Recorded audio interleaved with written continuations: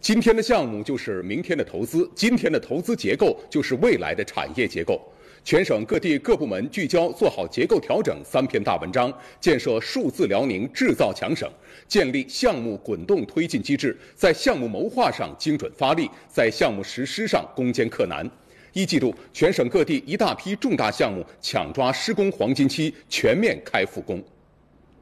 我现是在盘锦港荣兴港区三十万吨级原油码头配套设施工程的项目施工现场，在项目现场桩基础部分的施工呢已经全部完成，正在进行办公楼和消防水罐部分的施工。码头投入运营后，腹地的重点石化企业原料通过海运通道将全面打开，必将推动盘锦世界级石油化工及精细化工产业基地建设的步伐。在盘锦，世界五百强企业利安德巴塞尔投资的项目，兵器集团投资的精细化工及原料工程项目，辽河储气库群等一批大项目正在加紧建设。盘锦市今年计划实施项目五百五十个，总投资三千二百五十五亿元。预计到三月三十一日，全市开工项目将达到三百一十二个，开工率五十六点七。一季度预计完成投资七十亿元以上，同比增长百分之十五。我现在所在这里啊，是嘉裕集团投资五亿元建成的富新清洁能源产业基地。日前呢，呃，嘉裕又投资了一百二十亿元建成了氢能产业基地，为富新新能源示范基地建设再添强劲引擎。我们这次又做这个产业基地啊，等于二次投资，又做了一个新能源的产业项目。这个项目固定资产投资超过二十个亿，总投资在。五年内会达到一百二十个亿。阜新市紧紧抓住建设辽西北承接产业转移示范区、辽西融入京津冀协同发展战略先导区等重大机遇，积极推进新能源、绿色食品深加工、高端装备制造、精细化工、生态环保等领域的项目建设。全年计划完成新开工投资五千万元以上项目两百个，竣工投资五千万元以上项目一百二十个。呃，围绕这个。固定资产投资增幅百分之十五这个目标，以问题为导向，为项目做好服务，呃，积极营造抓投资、抓项目的浓厚的工作氛围。这里是丹东市振兴区汤池工业园区，我身后的东北亚农产品交易中心正在火热建设中。交易中心一期工程建成后，这里也将成为辽东地区新的农产品交易平台。丹东地区丰富的农产品资源和良好的交通优势，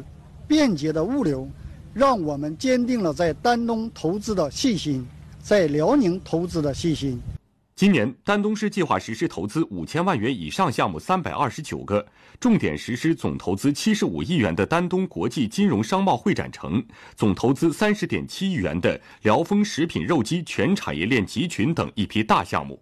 实行项目问题清单机制，督促各县市区、经济区抢抓项目开工黄金期。推动项目尽快建成投产。这里呢是本溪高新区前高浦神农大街，我身后呢是投资四点五亿元的国家级生物医药产业基地项目。现在啊，工人们正在进行打桩的一个基础作业，预计于今年年底交付使用。届时呢，将有二十余家研发企业入驻，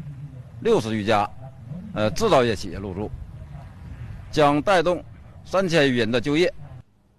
今年，本溪市围绕钢铁、冶金、装备制造、精密铸件等产业集群建设，建立市级领导包保一百个重点项目责任制，重点推进本环宽高速公路、高新区生物医药产业基地、新型建筑材料产业园等七十四个亿元以上重点项目建设。